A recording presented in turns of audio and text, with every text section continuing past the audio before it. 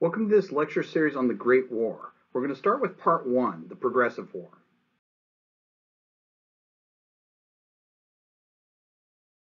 When we look at the Great War, we're looking at a war that goes by many names. We have the Great War, we have the First World War, World War One. Obviously, they didn't call it World War One back then because they didn't think there would be wars afterwards. Matter of fact, at one point, it was even called the War to End All Wars. One thing that's for certain is that it did have a lot of very historically significant people involved with it. For example, George S. Patton will um, cut his teeth driving tanks for the first time in the First World War. He'll be a prominent tank commander in World War II. Um, Harry S. Truman, one of the first uh, Cold Warrior presidents, uh, is going to uh, be an artilleryman in the Great War, right? Even in this picture, if you take a look here, you have a very famous person in this picture. Now, I know what you're all thinking. It's the dog, right? Yeah, CRCA dog. No, it's not the dog. It's not. When you look at that picture, if you look at the far left-hand side of that picture, you'll see that that man has a little X above his head. So while we look through at uh, these other guys and we see maybe a young Gomez Addams, a young Vladimir Putin, Chef Boyardee, Tom Cruise's dad, the guy there in the far left is actually Adolf Hitler, right?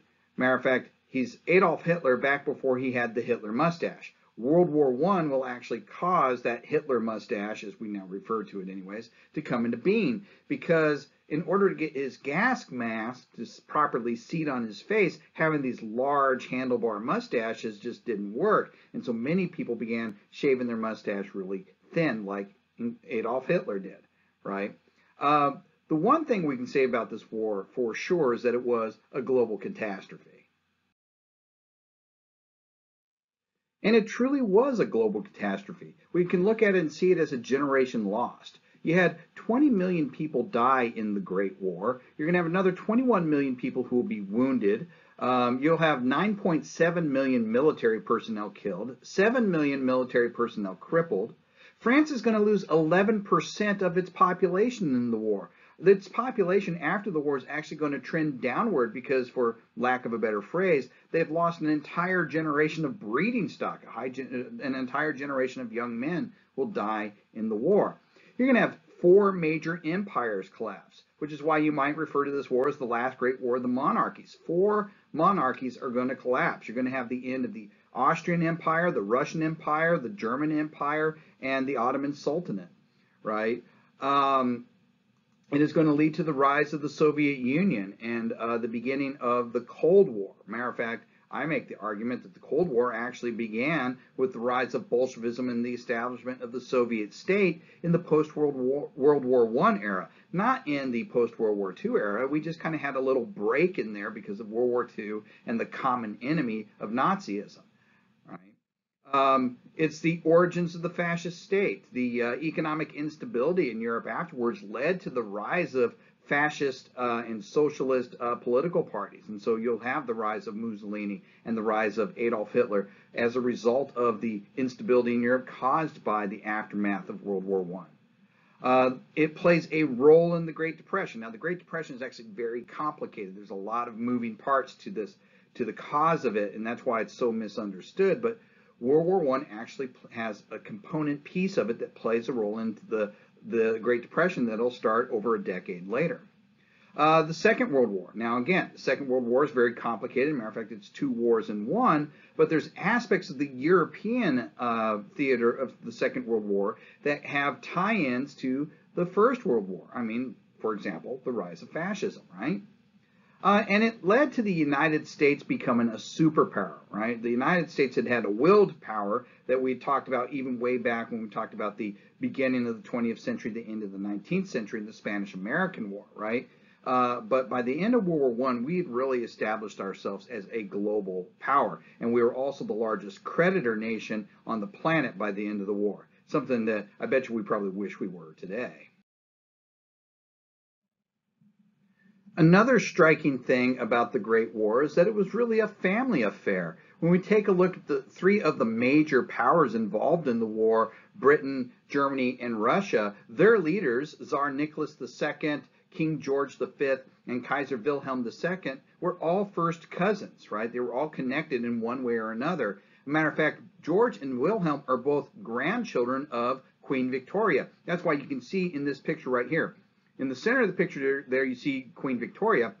If you look to her right, right, if you look left on the picture, you'll see Kaiser Wilhelm is sitting down right there to her right, and standing right behind him is George V, right? Um, but there's a lot of other relations. Europe is uh, got a lot of interrelations in it. A matter of fact, if you take a look at uh, the linkage to Queen Victoria in uh, in Europe at the time of the start of the World War a lot of these people are related. Every one of these people that I'm about to list off are all first cousins right? Tsar Nicholas II of Russia, Constantine I of Greece, Christian X of Denmark, Haakon VII of Norway, Maud of Wales, George V of England, Wilhelm II of Germany, Sophia of Prussia, Alexandra of Hesse, Maria of Edinburgh, and Victoria of Battenberg. Right? These people are all are all children of either Queen Victoria of England or Christian IX of Denmark. Right? And there's a lot of inter interrelations here too. Nicholas II, the first person I listed, happens to be married to Alexandra of Hesse. That is the Romanov uh, monarchy at this time, right? And so this really is a family affair, and a lot of these guys are actually in communication with each other. Um, Wilhelm and George V have uh, have a habit of going on vacations together, and they eventually will actually be at war with each other. The Great War was also a very ambiguous war, right? An argument is made that this was an accidental war or that was caused by a series of unfortunate events. Now, in reality, the war is far from an accident, but uh, its many escalations that led to war certainly caught a lot of people by surprise, and the fact that it escalated to a global scale was shocking to a lot of people. So a lot of people were left wondering when the war started, how did it start? Why did this start? There was a lot of confusion. It seemed kind of strange that an obscure assassination in a remote part of Eastern Europe led to a global confrontation. And yet it did. And when the war ended, it also ended under very strange circumstances. Germany had uh, sued for peace and had an armistice signed, um, but they were still in France at the time it took place. So if you were a German soldier in France in trenches in World War One, it was probably pretty confusing when the war suddenly ended. It's like, what do you mean the war ended? We're winning. We're still in France. We're 50 miles from Paris, right? Matter of fact, it led some German citizens to believe that there was some kind of ulterior backroom deal going on, some kind of, as they would put it, stab in the back, right? And the stab in the back theory uh, that grew in Germany blamed the uh, end of the war and the Germany, German defeat on the Jews. And it's going to be people like Adolf Hitler and others of their ilk, of his ilk that are going to adopt this stab in the back theory that's going to lead to, again, ultimately the Holocaust, right? It's also a very transformative war.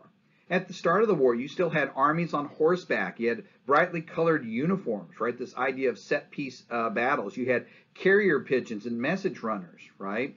By the end of the war, you have tanks, you have flamethrowers being used in combat, you have uh, aircraft um, dotting the sky, machine guns, grenades, uh, rifled artillery, uh, weapons of mass destruction, right? Poison gas in this case, right? People aren't wearing brightly colored uniforms anymore. They're wearing gray or tan or green dungarees and steel helmets. No longer the nice little pretty helmet with the plumy flower that made a or a feather on it that made it a great target, right? So the war was completely different by the end compared to what it looked like at the beginning, right? And it was a progressive war.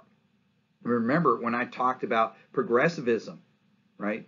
Uh, progressivism is the idea that you can address the problems of the day using science, technology, and social sciences to reform the existing systems. Well, these monarchs in Europe were certainly looking to reform the balance of power in Europe. And so they're being progressive. Thought we are going to use our science and technology to reform this balance of power. Now, what a lot of them didn't realize was that reform would result in the elimination of their monarchy, right? Remember, I said progressivism can often lead to unintended consequences. Well, this is certainly a great example of that.